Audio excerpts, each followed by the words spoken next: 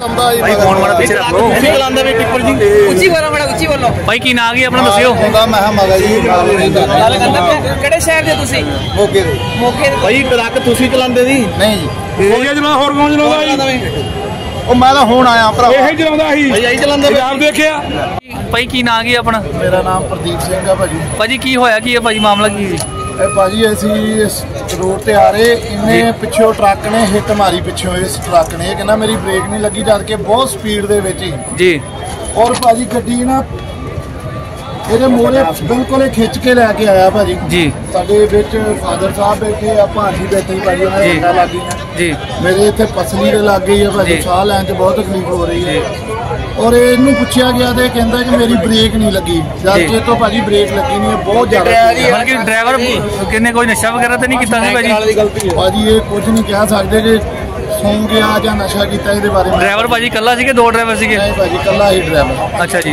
ਕਿ ਜਾਨੀ ਨੁਕਸਾਨ ਨੁਕਸਾਨ ਨਾਲ- ਨੁਕਸਾਨ ਤਾਂ ਨਹੀਂ ਆਇਆ ਭਾਜੀ? ਬਾਕੀ ਭਾਜੀ ਕਾਫੀਆਂ ਦੇ ਸੱਟਾਂ ਇਹ ਨਹੀਂ ਪਤਾ ਕਿ ਕਿਹਦੇ ਜ਼ਿਆਦਾ ਗੰਭੀਰ ਲੱਗੀ ਆ ਕਿਹਦੇ ਨਹੀਂ ਲੱਗੀ। ਭਾਈ ਮੌਕੇ ਤੇ ਪ੍ਰਸ਼ਾਸਨ ਆ ਗਿਆ ਸੀਗਾ ਜੀ? ਹਾਂਜੀ ਭਾਜੀ ਪਹੁੰਚ ਗਏ ਜੀ। ਤੁਸੀਂ ਕੀ ਮੰਗ ਮ ਰੱਖਦੇ ਭਾਜੀ ਮੰਗਦੇ ਹੋ? ਭਾਜੀ ਜੋ ਵੀ ਇੱਥੇ ਐਕਸ਼ਨ ਕਾਰਵਾਈ ਹੋਣੀ ਚਾਹੀਦੀ ਹੈ ਕਿ ਇਹਦਾ ਮੈਡੀਕਲ ਹੋਣਾ ਚਾਹੀਦਾ ਕਿ ਇਹਨੇ ਕਿਸ ਤਰੀਕੇ ਨਾਲ ਇਹਦੀ ਗੱਡੀ ਹਿੱਟ ਹੋਈ ਆ ਇਹਦਾ ਬਕਾਇਦਾ ਇਹਦੀ ਜਾਂਚ ਹੋਣੀ ਚਾਹੀਦੀ ਆ। ਇਹ ਗੱਡੀ ਦੀ ਕਹਿ ਰਿਹਾ ਕਿ ਮੇਰੀ ਬ੍ਰੇਕ ਫੇਲ ਹੋਈ ਆ। ਜੀ। ਜਦ ਕਿ ਸਾਨੂੰ ਲੱਗਦਾ ਨਹੀਂ ਕਿ ਇਹਦੀ ਗੱਡੀ ਦੀ ਬ੍ਰੇਕ ਭਾਈ ਜਿੱਦਾਂ ਕਿ ਆਪਾਂ ਦੇਖ ਰਹੇ ਹਾਂ ਕਿ ਕਾਫੀ ਸਾਰੀ ਗੱਡੀਆਂ ਹਿੱਟ ਹੋਈਆਂ ਵਾ। ਕਿਉਂ ਜਾਨੀ ਨੁਕਸਾਨ ਵੀ ਹੋ ਸਕਦਾ ਸੀਗਾ। ਵੀ ਦੂਈ ਆ ਉਹਨਾਂ ਦੇ ਵਿੱਚ ਉਹ ਸਰਦਾਰ ਸਾਹਿਬ ਬੈਠੇ ਉਹਨਾਂ ਦੇ ਕਾਫੀ ਆ ਗੰਭੀਰ।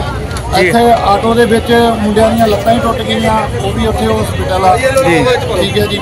ਹੁਣ ਇਹ ਲੱਤਾਂ ਮੋਛੇ ਪੈ ਗਏ ਲੱਤਾਂ ਇਕੱਠੀਆਂ ਹੀ ਹੋ ਗਈਆਂ ਭਾਜੀ ਉਹਨਾਂ ਦੀਆਂ। ਮਤਲਬ ਕਿ ਆਪਣੀ ਫੈਮ ਭਾਈ ਤੁਹਾਡੀ ਫੈਮਿਲੀ ਦੇ ਤੁਹਾਡੇ ਨਾਲ ਜਿਹੜੇ ਗੱਡੀ ਦੇ ਵਿੱਚ ਸੀਗੇ ਉਹ ਸਾਰੇ ਠੀਕ ਹੈ। ਲੱਗੀ ਆ ਸਰ ਮੇਰੇ ਫਾਦਰ ਸਾਹਿਬ ਦੇ ਵੀ ਸੱਟ ਲੱਗੀ ਆ। ਜੀ। ਹਾਂਜੀ। ਹਾਂਜੀ ਸਰ ਕੀ ਨਾਮ ਹੈ ਕੁਲਦੀਪ ਸਿੰਘ ਦਾ ਸਹੀ। ਕੀ ਹੈਗਾ ਸਾਰੇ ਮਾਮਲੇ ਦਾ ਐਕਸੀਡੈਂਟ ਹੋਇਆ? ਮਾਮਲੇ ਆ ਵੀ ਲੈਟ ਹੋਈ ਸੀ। ਗੱਡੀਆਂ ਅੱਠ ਦਾ ਪਹਿਲਾਂ ਖੜੀਆਂ ਸੀ ਲੈਟ ਦੀ। ਪਿੱਛੋਂ ਇੱਕ ਦੁੱਧ ਵਾਲਾ ਕੇਂਟਰ ਆਇਆ। ਤੇਜ਼ ਸੀ ਵੈਸੇ ਲਾਈ ਉਹਦੀ ਬ੍ਰੇਕ ਨਹੀਂ ਲੱਗੀ ਤੇ ਗੱਡੀਆਂ ਉੱਤੇ ਟੱਚ ਕਰ ਗਿਆ ਉਹ ਸਰ ਕੋਈ ਜਾਨੀ ਨੁਕਸਾਨ ਤਾਂ ਨਹੀਂ ਹੋਇਆ ਜਾਨੀ ਨੁਕਸਾਨ ਕੋਈ ਨਹੀਂ ਜ਼ਖਮੀ ਹੈ ਇੱਕ ਦੋ ਬੰਦੇ। ਸਰ ਇਹ ਟੈਂਕਰ ਸੀ ਆਇਆ ਕਿੱਥੇ ਤੇ ਜਾਣਾ ਕਿੱਥੇ ਸੀਗਾ ਜੀ? ਪਠਾਨਕੋਟ ਜਿੱਦੋਂ ਆਇਆ ਅੰਮ੍ਰਿਤਸਰ ਵੱਲੋਂ ਆ ਜਿਹੜਾ ਜਲੰਧਰ ਪੀਏਪੀ ਵੱਲੋਂ ਆਇਆ ਹਾਂਜੀ। ਅੰਮ੍ਰਿਤਸਰ ਜਾਣਾ ਸੀ। ਸਰ ਕੀ ਕਾਰਵਾਈ ਕਰ ਰਹੇ ਪਹਿਲਾਂ? ਬਸ ਵੇਖ ਕੇ ਜੋ ਕਾਰਵਾਈ ਬਣਦੀ ਐਕਸੀਡੈਂਟ ਨੂੰ ਕਰਨਾ ਲੋਕਾਂ ਦਾ ਕਹਿਣਾ ਹੈ ਕਿ ਬ੍ਰੇਕ ਦਾ ਕੋਈ ਦਾਣਾ ਡਰਾਈਵਰ ਨੇ ਨਸ਼ਾ ਕੀਤਾ ਹੈ ਨਹੀਂ ਨਸ਼ਾ ਕੋਈ ਨਹੀਂ ਕੀਤਾ ਆਪਾਂ ਕੋਈ ਨਸ਼ਾ ਨਹੀਂ ਕੀਤਾ। ਡਰਾਈਵਰ ਡਰਾਈਵਰ ਗ੍ਰਿਫਤਾਰ ਕਰ ਲਿਆ।